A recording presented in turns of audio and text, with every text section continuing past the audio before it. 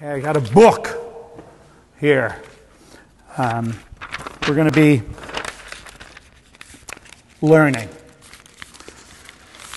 I use these gatherings to launch things. In my clinic, I had about 600 herbal medicines that I made for my patients. We sell about 30 or 40 of those and manufacture those for people all over the world.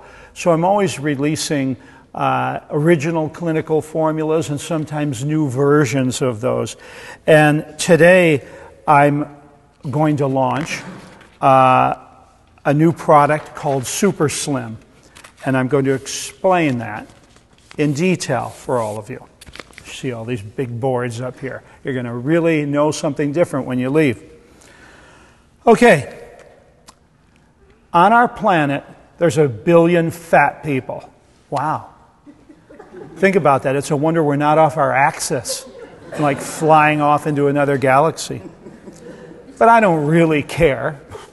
I mean, okay, over 66%, over two thirds of Americans are considered overweight, and over 33%, over a third, are considered obese. Yeah, you know, I, I love leaving others to their otherness. I don't have any stuff about that.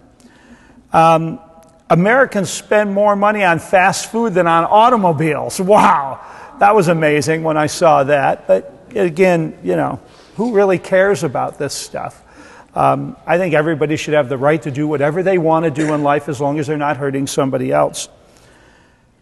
But let's look at a couple other fat things. Over 70% of the time you go to a medical doctor, it's because of your fat that's caused you to be ill. Wow. Think about that one.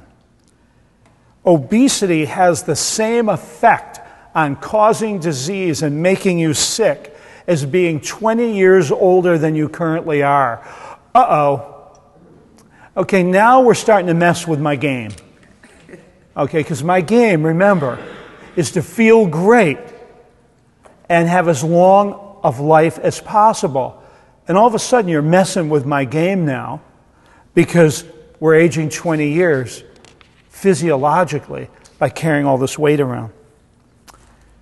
If you're in your 50s and you're even a little bit overweight, your chances of dying in the next 10 years are increased 20 to 40% than if you weren't overweight at all. That's really messing with the other part of my game which is living as long as possible. Fat and heart disease, it's shocking. Over 70% of cardiovascular disease is directly related to obesity. Wow. And think of it the number one cause of death in America heart attacks and stroke, cardiovascular disease, high mark. Um, being just over just being five pounds overweight pumps up your blood pressure your cholesterol increases your chances. I got lots of stats on heart disease. Millions and millions of people dying from cancer. The cancer is caused by them being obese. Over 50% of breast cancer is diagnosed with obese women 50% of colon cancer, obese people. 14 different major cancers, the number two cause of death, are directly related to being overweight. That's messing with my game big time because cancer isn't fun, okay? And fun is a big part of my game. Being five pounds overweight increases your risk of type 2 diabetes and you can reduce your risk of developing diabetes by 60% by just losing 10 pounds and exercising, whoa, two hours a week.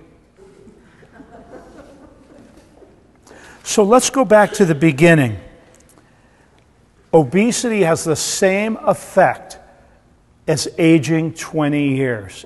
That's messing with my game because I'm not feeling great. I don't have the energy. I, I don't have the passion. I don't have the clear mind. I'm not having the fun and the bliss. And my life is going to be cut short.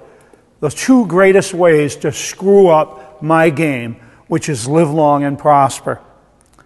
And in case none of that affected you, men, obesity means you're not going to get a hard on. Okay? Now I have your attention probably. And women, it's going to mean you have, you know, a fat ass, thighs, belly. Because, you know, I'm trying to sell my game here, guys. Uh, that's, that's the name of the game, too.